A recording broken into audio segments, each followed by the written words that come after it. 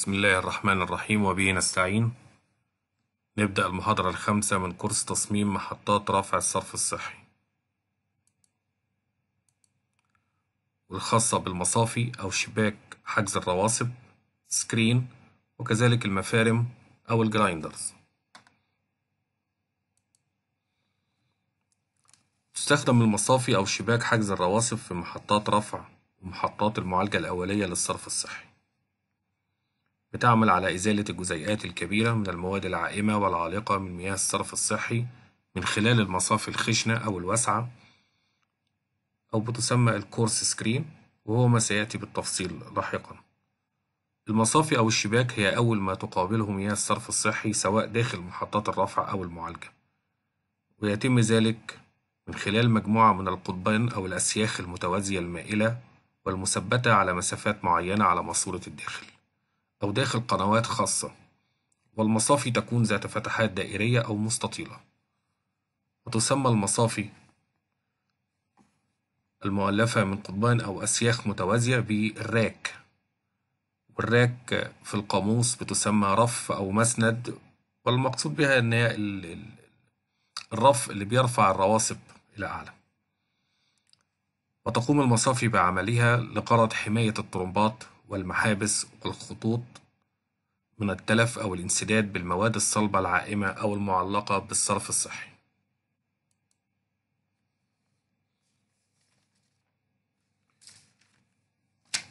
ودائما ما تكون غرفة المصافي ذات مقطع عرضي من 200% إلى 300% من ضعفين إلى ثلاث أضعاف من قطر ماسورة الداخل. ويجب أن يكون طول القناة يكفي لمنع وجود دوامات حول أو خلال قضبان المصافي. والشكل في الأسفل بيوضح الكروكي بيوضح المصافي اليدوية.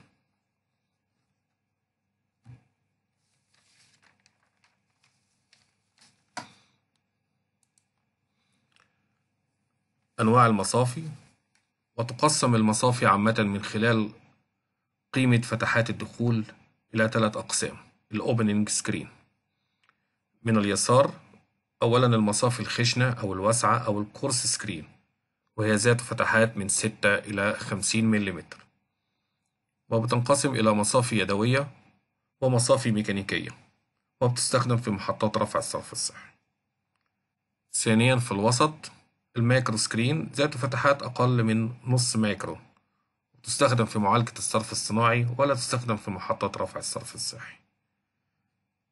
ثالثا إلى اليسار fine screen أو المصافي الناعمة أو الضيقة وهي ذات فتحات أقل من 6 ملي وبتنقسم إلى نوعان اسطواني دائري rotary drum أو مصافي استاتيكية static screen ولا تستخدم المصافي الناعمة أو الضيقة في محطات رفع الصرف الصحي. وسوف نقتصر هنا على شرح المصافي الخشنة فقط coarse screen لاستخدامها في محطات الرفع وباقي أنواع المصافي إن شاء الله تعالى سيتم شرحها باستفاضة وبالتفصيل في course تصميم محطات معالجة الصرف الصحي القادم إن شاء الله.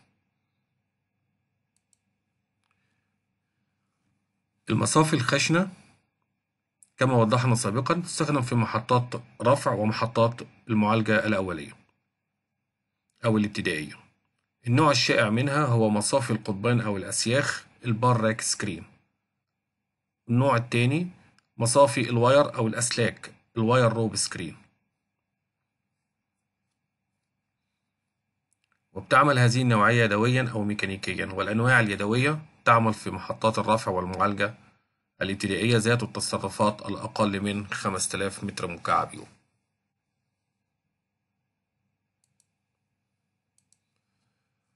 والشكل اللي على اليسار بيوضح مصافي يدوية بيتم فرز البارات الاوبننج البارات ديت بيتم تنظيفها من خلال شوكة يدوي. والشكل اللي على اليسار أحد أنواع ال mechanical cleaned bar screen أحد أنواع المصافي الميكانيكية.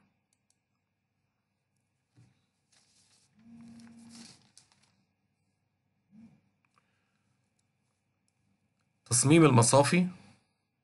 يجب الأخذ في الاعتبار عند اختيار وتصميم المصافي الآتي. واحد الدرجة المطلوبة لإزالة المخلفات. نوع المصافي أو فتحات المصافي. كلما ضاقت فتحات المصافي كلما زادت كمية المخلفات. كلما استخدمنا أنواع مصافي معينة لا يصلح معها الفتحات المطلوب استخدامها. وبالتالي لابد من تحديد إيه الدرجة المطلوبة لإزالة المخلفات أو نوعية المخلفات بالتالي. السلامة والصحة المهنية للعاملين. على حسب نوع المخلفات أو نوع المياه الواردة للمحطة إذا كان الصرف الصحي أو الصرف الزراعي أو الصناعي صرف صناعي لابد من اتخاذ كافة مهمات السلامة الصحة سلامة والصحة المهنية للعاملين في هذا المجال والعاملين بالذات على المصافي اليدوية. بالنسبة للبند الثالث الروائح والغازات. مياه الصرف الصحي بالذات في مياه القنوات العميقة بيركب screen تحت سطح الأرض وبأعماق بتصل إلى تسعة وعشرة متر يمكن أكتر من ذلك. بيتتولد غازات ممكن كبريتيد هيدروجين أو ميثان أو أمونيا. فلابد من اتخاذ الاحتياطات اللازمة لهذه الغازات من خلال ال ventilations المطلوبة لهذه الأنواع أو بصفة دائمة تملي تحليل الغازات داخل الغرفة اللي ممكن بيتم فيها الصيانة أو الإصلاح لهذه المصافي. النقطة الرابعة طريقة التعامل والنقل والتخلص الآمن من مخلفات المصافي. النقطة الخامسة اختيارات التخلص الآمن من مخلفات المصافي. كمر حرق دفن وهكذا.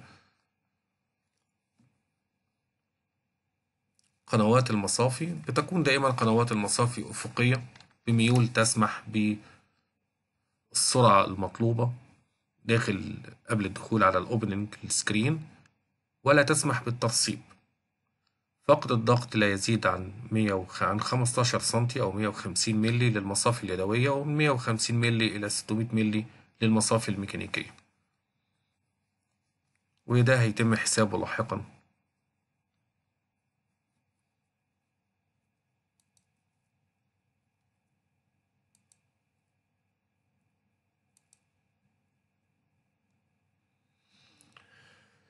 تصميم قنوات المصافي ذات القضبان البار سكرينز. بيتم تحديد المقطع العرضي للقناة من خلال معادلة الاستمرارية Continuity Equations التصرف بيساوي المساحة في السرعة وبالتالي بحدد المساحة. ال A cross sections بتساوي ال Q design تصرف تصميمي على السرعة على ال V approach. السرعة خلال ال channels.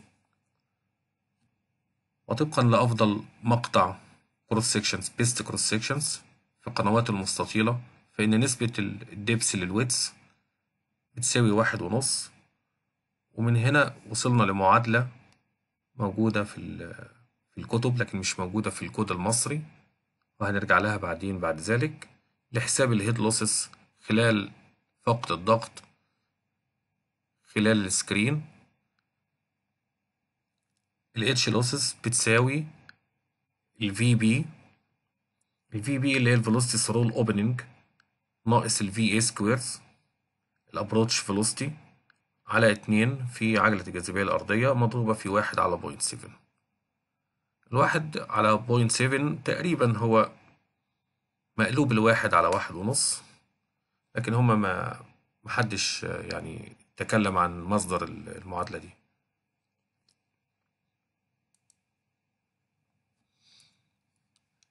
Design of bar screen وال bar space cross section bar screen ال bar screen cross sections بتساوي ال area cross sections اللي إحنا حسبناها قبل كده على ال sine theta اللي هي زاوية ميل ال screen.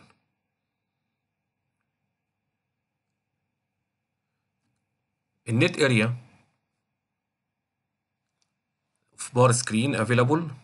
For flow is given by following equations. ال area net بتساوي ال area bar screen cross sections مضروبة في ال S اللي هي ال space between البارات على الاس زائد التي والتي هو السكرس للسكرين بارز هنتكلم بعد كده على المعادلات دي تفصيليا في مسائل محلولة إن شاء الله. وال number of bars in the screen بيجي من المعادلة إن ال N اللي هو ال number of bars مضروب في ال T bar اللي هو ال thickness بتاع البار زائد ال N ناقص واحد ال N ناقص واحد اللي هو عدد البارات ناقص واحد مضروب في ال space اللي between البارات. كل ده بيساوي ال width يعني أما أحب أحسب ال width بتاع ال channels اللي في السكرين هو بحسبه من ال N مضروبة في ال T thickness زائد ال N ناقص واحد في ال S.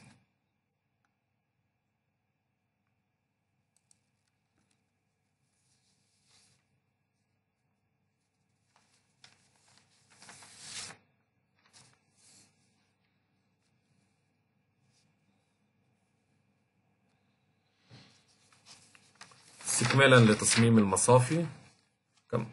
كما ورد بالكود المصري ال detention time زمن المكث بالمصافي المكوث بالمصافي من نص دقيقة لواحد دقيقة. السرعة الأفقية للدخول من ستة من عشرة إلى واحد واتنين من عشرة متر ثانية. السرعة الأفقية خلال فتحات المصافي من تلاتة من عشرة إلى واحد متر ثانية. مركبة السرعة الأفقية العمودية على المصافي لا تزيد عن ستة من عشرة متر ثانية.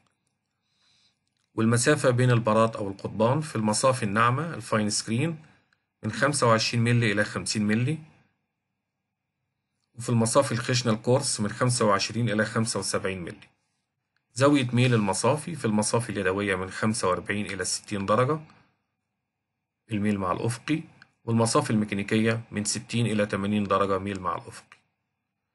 كمية مخلفات المصافي لو مش عايز أعمل حسابات ليها فبحسبها على عشرين لتر لكل ألف متر مكعب يوم. مقاسات البارات أو القضبان العرض من واحد لاتنين سنتي أو الطول من اتنين إلى ستة سنتي. فاقد الضغط خلال المصافي في بداية التشغيل من عشرة إلى خمستاشر سنتي.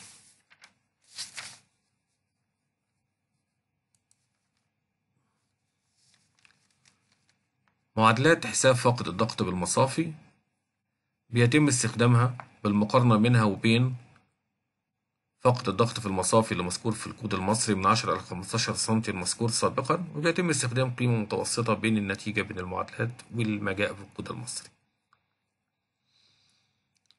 أول معادلة ودي اللي according للكود المصري Kirschmer equation. ال H losses بتساوي ال B ال B ده bar shape factor ده factor بيتحط نتيجة شكل البار اللي راكب في ال screen. ليه قيم محددة أربع قيم لأربع أشكال للبارات. والدبليو على البي الدبليو ده الويتس ويتس البار اللي بيقابل ال flow عرض البار اللي بيقابل ال flow. وال B ال clear spacing between the bars المسافة أو ال opening اللي بين البارات. أس 4 على 4 على 3 مضروب في ال في ال في ال velocity head ال V square على 2 g واستخدم ال V هنا ال geometric mean of approach velocity ال velocity قبل الدخول على ال screen في sine theta ال theta هي ال angle بتاع ال inclination مع الافق زاوية ميل المصافي مع الافق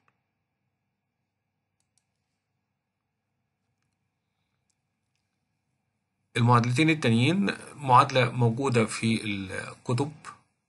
ال head losses through the clean اللي لسه متكلمين عليها اللي هي ال head losses واحد على سبعة من عشرة في ال V square ناقص ال V square على اتنين جي أو في كتب تانية بتكتبها إن هي بيقسم الواحد على سبعة من عشرة وبيضرب في الاتنين على جي وبيطلع قيمة اللي هي point zero سبعة اتنين تسعة في ال V square ناقص ال V square وبنحسب من هنا ال head losses وبقارن الناتج بين العشرة والخمستاشر سنتي اللي موجودين في الكود المصري. معادلة الدلتا دي خاصة بال fine screen. وما نيجي نتكلم في محطات المعالجة إن شاء الله. متستخدمش في محطات الصرف الصرف الصحي وبيتم ذكرها لاستكمال معادلات حساب الفاقد قبل وبعد المصافي. وهنتناولها إن شاء الله في course محطات معالجة الصرف الصحي إن شاء الله بالتفصيل.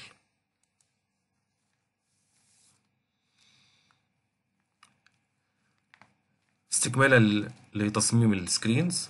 ال screen اللي موجودين اللي هنشتغل عليهم هما نوعين. النوع الأولاني هو ال chain screen أو المصافي الميكانيكية العاملة بالسلاسل. هذه النوعية بها أجزاء ميكانيكية بتعمل تحت الماء بالذات ال sprockets. ال sprockets دي قطع مسننة زي ال gear أو الترس بتتلف عليها السلاسل ال chain وفي في حالة تلافها أو صي- صيانتها بتبقى صعبة جدا بيحتاج إن بنفك التشين كلها ونطلع فوق ونشتغل فيها.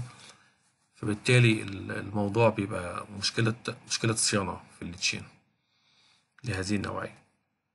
ليها ثلاث أنواع على أساس طريقة تنظيف ورفع المخلفات. طريقة التنظيف والعودة من الأمام من أمام السكرين. دي أكثر كفاءة في التنظيف والمصافي في الحالة دي عرضة للتعامل مع المواد الصلبة المجمعة مما بيسبب احتمال وجود توقف لل- لل gear أو ال chain النوع التاني التنظيف أمامي وال rake بيرجع من ورا ال screen في الرجوع خلف من خلف ال screen. في الحالة دي المصافي بتكون أقل عرضة للتعامل مع المواد الصلبة المجمعة. النوع الثالث التنظيف والعودة من خلف ال screen ودي لا تتعارض مع المواد الصلبة المجمعة.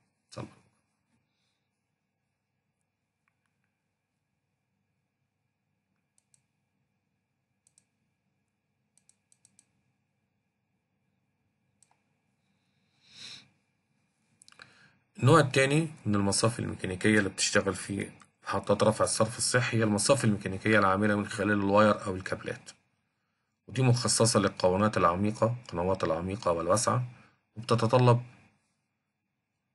مساحة ويمكن تركيبها رأسية مما يتطلب مساحة أقل للتركيب. في حالة تركيب ممكن تركيب المصافي اللي عاملة بالواير والكابلات رأسي فبالتالي المساحة المطلوب للتركيب بتبقى أقل. تتكون من جزئين رئيسيين أجزاء مغمورة بارات المصافي والدليل دليل المصافي الدخول والقاعدة وإعادة التركيب. اتنين أجزاء أعلى الغرفة الشاسيه وحدة تفريغ المخلفات ونظام التنظيف.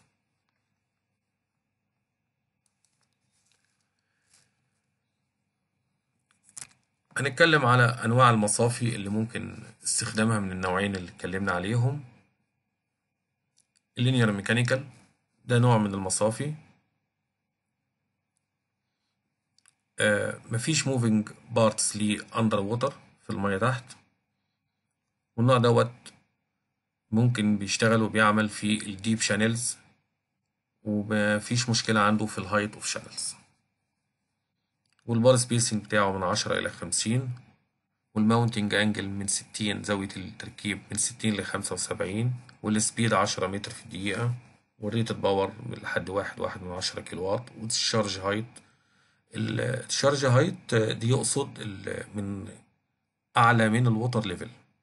ال water level تحت ال discharge height يحسب عليه بقى يزود 80 سم أو يزود 2 متر عليه. from operation level. ال channel width من 80 سم 800 مللي ل 2 متر و2 من عشرة آه لأي معلومات عن طريقة ال operation ممكن نتفرج على الفيديو اللي موجود على اليوتيوب. خاص بالنوعية ديت ال cable operated اللي اتكلمنا عليه بيبقى فيه drum فوق فيه cables wires هو اللي بيشيل ال rakeات ويطلعها وينزلها. فبالتالي ما بيبقاش فيه any moving part under water مفيش أي moving part أي أجزاء متحركة خالص غاطسة مغمورة في الماء. والنوع دوت بيستخدم برضه بس solutions for high water level أم يبقى منسوب المية مرتفع. ويفضل ليه في محطات رفع الصرف الصحي. وال bar spacing بتاعه بين عشرة لخمسين وال mounting angle من ستين لخمسة وسبعين وال speed عشرة متر في الدقيقة و rated power لحد واحد من عشرة كيلو وات وال discharge height برضه تمنمية لألفين و channel width من تمنمية لألفين وخمسمية. ولأي معلومات إضافية اليوتيوب فيلم جوه لنفس النوعية ال cable operated النوع التالت ال travelling grab screen دايما بيبقى ال width بتاع ال channels كبير جدا زي زي المحطة اللي موجودة قدامنا في الصورة. إن عندي تلاتة screw pumps وكل screw pumps ليها channel كل channel فيها screen فبالتالي في نوع اسمه travelling grab screen ده نوع اقتصادي في الحالة ديت.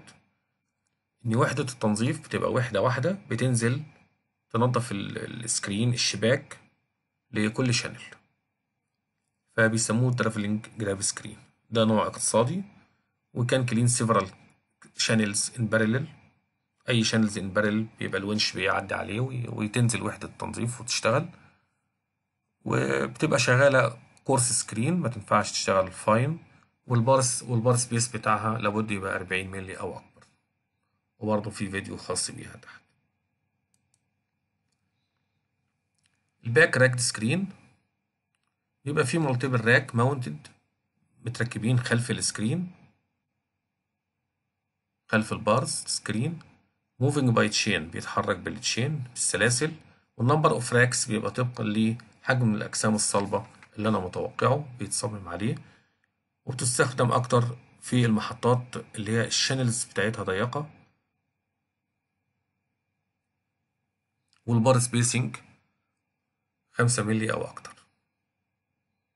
وال bar spacing خمسة ملي لخمسين ملي وال mounting angle من ستين لخمسة وتمانين وال speed برضو عشرة متر في ال minute وال rated power point seven five كيلو وات وال discharge height برضو من تمانية لمترين تمنمية تمانين سنتي لمترين وال channel width من أربعين سنتي ضيقة حاجة لحد متر ونص. وفي فيديو تحت لو دخلتوا عليه هتلاقوا ال back rake screen طريقة تشغيلها.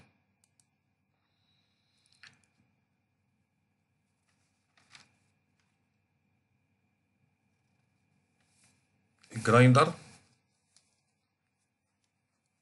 وبتسمى أيضا القطاعة أو المفرمة أو الطاحونة وبتقوم بقطع أي قطعة كبيرة في مياه الصرف الصحي إلى قطع أصغر مما يقلل من الضرر بمراوح الطرمبات والمحابس والمواسير. تتكون من مجموعتين من القواطع في دوران متقابل وبيتم التعامل مع القطع الكبيرة وتقطيعها لأجزاء صغيرة وعادة بتكون أجزاء في حدود الستة ملي مجموعات القواطع بتدور بسرعات مختلفة وفي إمكانية للدوران العكسي لإصلاح أي انسدادات. والشكل المقابل بيوضح inline grinder راكبة على خط الدخول في محطة رفع صرف صحي.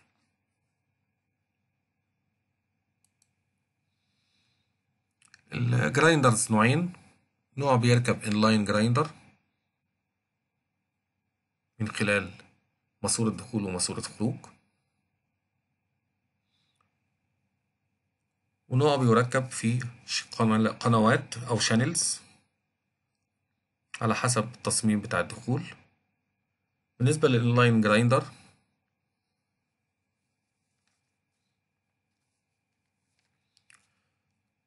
ال solid بتدخل مع ال stream بتخش بين فكي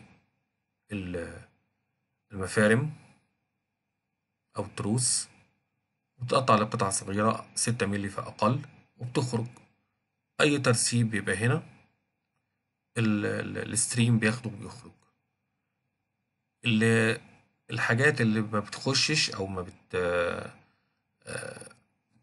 بتفرمش من أول مرة. ال stream بتاع مية الصرف وهو داخل بيدخلها مرة تانية وبالتالي بتدخل تتفرم. وفيها المفارم ديت بتدور عكس زي ما قلنا قبل كده على أساس تمنع أي اشتباكات أو أي التصاق أو أي انسدادات. النوع اللي between ال channels نفس الموضوع بالظبط بس الفرق إن مفيش مش بيتربط بيتعمل له channels ما بيتربطش بال بالمواسير direct نفس طريقة العمل.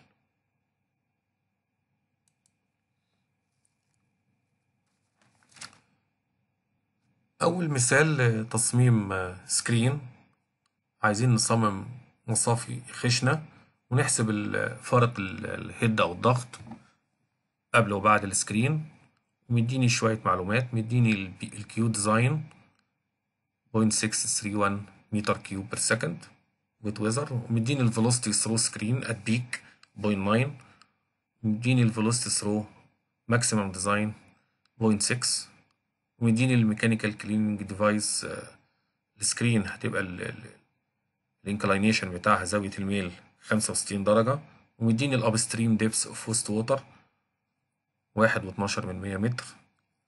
وبيقول لي اختار أربعة وعشرين مليمتر clear opening المسافات اللي بين ال bars تبقى أربعة وعشرين ملي وعرض البارة أو عرض القضيب أو عرض السيخ الموجود عشرة ملي width وخمسين ملي thickness وقال لي choose ال freeboard ال freeboard هي المسافة اللي أعلى من منسوب المية. خدها من نص متر لستين سنتي.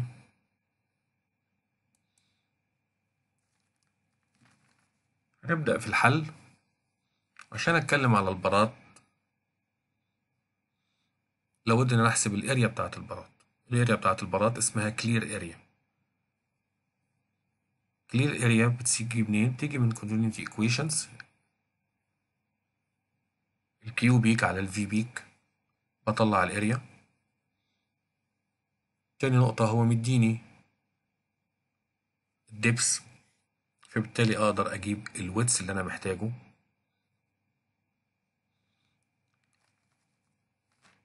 فبقسم ال area على ال depth بجيب ال width وهو مديني إن ال opening هتبقى أربعة وعشرين فبالتالي هقسم ال area بتاعت ال opening على الأربعة وعشرين ملي بيديني ال number of opening ستة وعشرين. number of opening ناقص واحد بيساوي عدد الأسياخ أو عدد ال bars هيبقى خمسة وعشرين بار. عند عشرة ملي وال width خمسين ملي thickness. هحسب ال width بتاع الش... بتاع الأوضة. ال chamber ال width.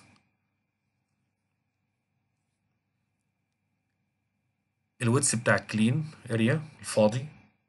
هزود عليه ال width بتاع ال bars الخمسة وعشرين بار. مضروب في ال thickness بتاع البار. بجمع الاتنين على بعض بجيب ال width بتاع ال chamber بتاع ال screen chamber ال height بتاع ال screen واحد ولا اتناشر من مية هو مديني ال depth واحد واتناشر من مية. بقسمه على ال sine ستين زاوية الميل بيديني الواحد point ستة وعشرين متر. بختار ستين سنتي free dep freeboard. بجمع ستين سنتي على الواحد ستة وعشرين وباخد شوية excess length ليه وباخد اتنين متر ال height ال selected حساب ال head losses بستخدم Kirschmer equations اللي موجودة في الكود المصري اللي اتكلمنا عليها في slide 11 وهنختار rectangular bar وال semicircular upstream face اللي هي البيتا بتاعته 83 والدبليو على البي بوان وساين والفي بوينت 9 ونعوض في المعادلة. ونحصل على ال H losses هيساوي سبعة وستين ملي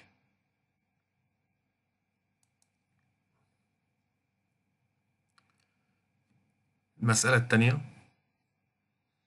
عايز يحسب ال head losses من خلال خلال ال bar screen في حالة ما يبقى فيه block off فيه انسداد خمسين في المية من ال flow area من ال area الخاصة بال flow. في انسداد فيها؟ نتيجة ترسيب أجسام صلبة خشنة. ومديني ال condition ال approach velocity السرعة قبل الدخول والسرعة خلال ال bars سرعة الدخول ستة من عشرة والسرعة خلال ال bars تسعة من عشرة. ومديني ال open area في حالة clean bar point one nine متر تربيع متر تربيع متر مربع. وال head losses في حالة ال clean bar point seven متر.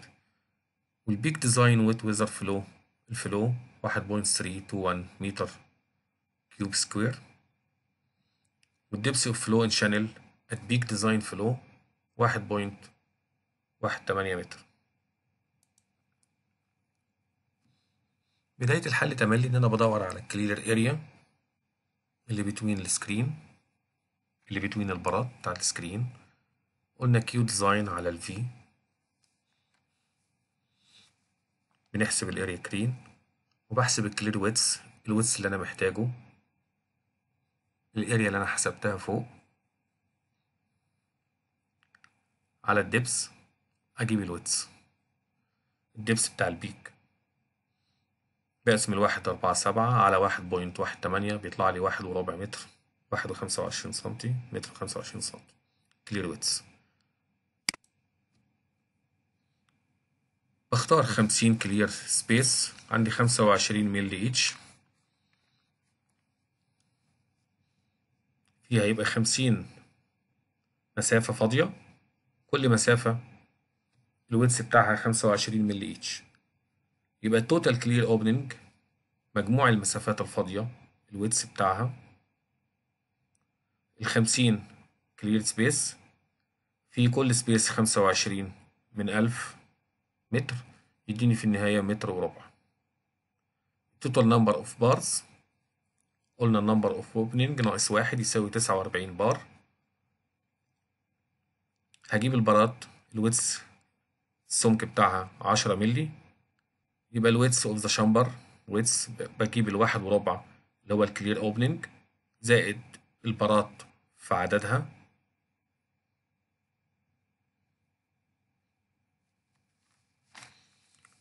زائد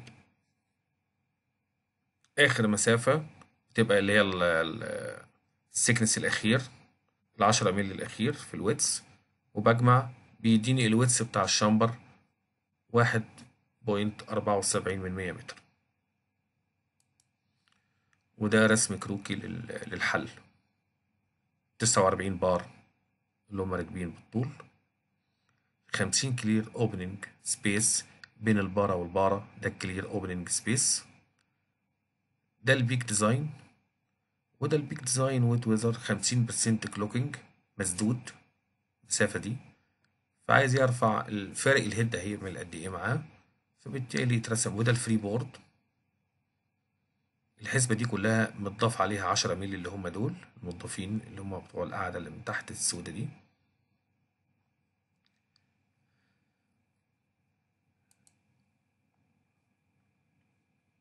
المثال الأخير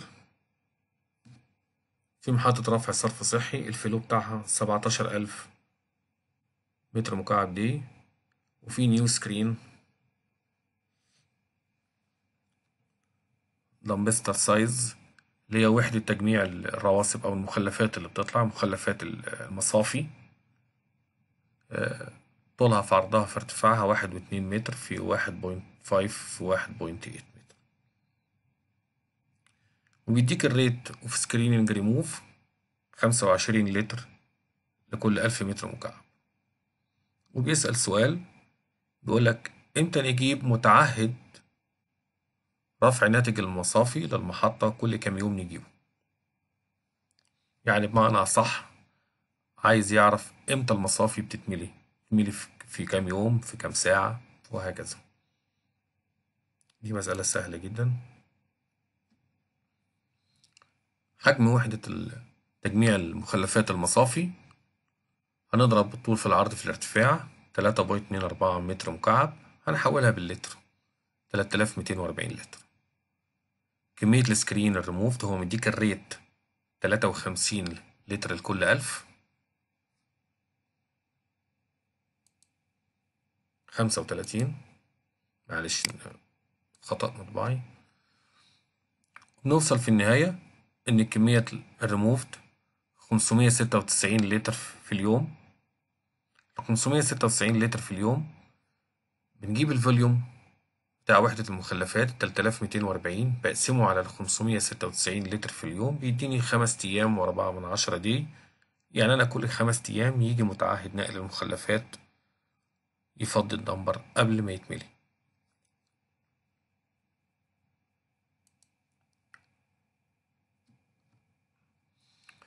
دول عدد من الأسئلة مش موجودين في المحاضرة. ولكن مهمين لل screen. بنسأل السؤال الأولاني What is the pump free passage ال free passage هو السؤال التاني هو ال size of solids that can pass through the impeller. حجم الأجسام الصلبة التي يمكن أن تمر خلال ال impeller بتاعة ال pump هو ال free passage في نوع من أنواع الترمبات اسمها ال vortex pumps. فيها ميزة واحدة وفيها عيوب كتير. الميزة بتاعتها إن ال inlet بتاعها أيا كان قطره وليكن أربعة بوصة مثلا فبالتالي ممكن تخش جواه أجسام صلبة أربعة بوصة وتعدي بدون ما تلمس الريشة. لأن الريشة بتبقى مرفوعة خالص ما بتقابلش المواد الصلبة. مجرد دوران الريشة بيقلب موجات داخل ال volute casing أو ال casing. الموجات ديت هي اللي بتنقل المواد الصلبة من الدخول إلى الخروج. بنفس قطر ماسورة الداخل تخرج في ماسورة الخارج. الديسادفانتجز بتاعتها إن الكفاءة بتاعتها أقل من خمسين في المية متشتغلش لحد عشرة كيلو واط أو اتناشر كيلو واط مش أكتر من كده. مفيش أكتر عن تقريبا من أربعة بوصة فيهم في الطرمبات ديت. وبالتالي استخدامها ممكن يبقى يتم في ال sludge pumps أو في حاجات زي كده. ده لو احتاجنا إن إحنا نركب طرمبات زي كده. إيه ال constraints relation between the screen bar space and the pump free passage. أما باجي أشتغل في محطة رفع وعايز أركب سكرين بعد ما بختار سelection للترومبة ومن ال selection دوت بشوف الشركات المنتجة تنتج الترومبات ديت. وأشوف ال free passage اللي بتقولي عليه الشركات. ألاقي شركة مثلا مدياني 80 ملي وشركة مدياني 90 وشركة مديالي 100 المية ممكن تمر والتسعين تمر والتمانين تمر. هنا بيبقى فيه قرارات كتيرة ممكن نتخذها.